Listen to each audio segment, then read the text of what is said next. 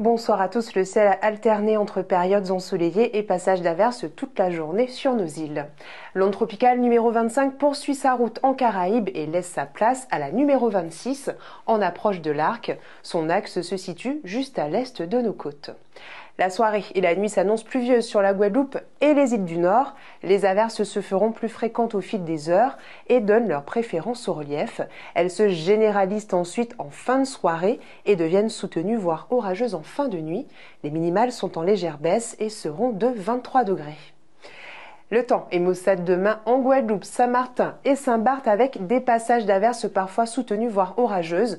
Une naque admise s'amorce dans le courant de l'après-midi et jusqu'en soirée avant une nette reprise en cours de nuit suivante de dimanche à lundi. Maximale prévue 32 degrés.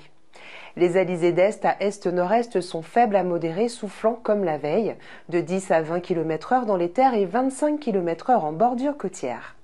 La merelle est agitée par houle d'est à est-nord-est avec des creux de 1,60 m à 1,70 m.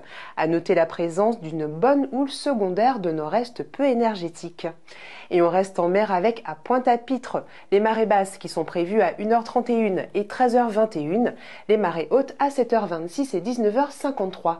À Saint-Martin, les marées basses seront à 5h40 et 17h23, les marées hautes à 11h33 et 23h18.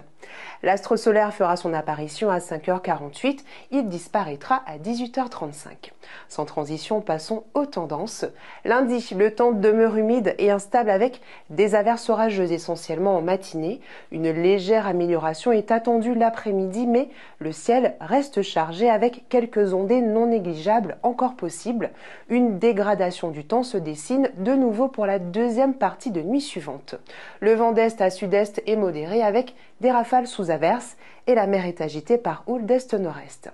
La dégradation amorcée dans la nuit de lundi se poursuit mardi sur nos îles avec la mise en place de passages pluvieux orageux annonciateurs de l'onde tropicale numéro 27 en approche. Les effets seront plus francs mercredi avec un alizé qui s'essouffle.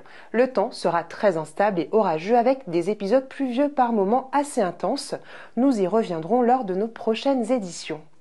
Guader prévoit ce dimanche une bonne qualité de l'air compte tenu des conditions atmosphériques attendues.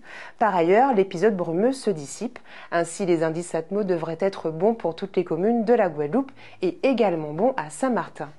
Ce bulletin touche désormais à sa fin. Demain, il faudra souhaiter une bonne fête au Salim. Et on se quitte avec la phrase du jour. Abuse du présent, laisse le futur aux rêveurs et le passé aux morts. Excellente soirée sur la première et bon week-end à tous.